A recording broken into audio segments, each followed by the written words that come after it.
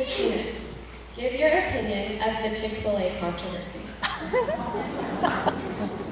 My opinion on the Chick-fil-A controversy would be that I absolutely applaud the CEO of Chick-fil-A for standing up for his beliefs.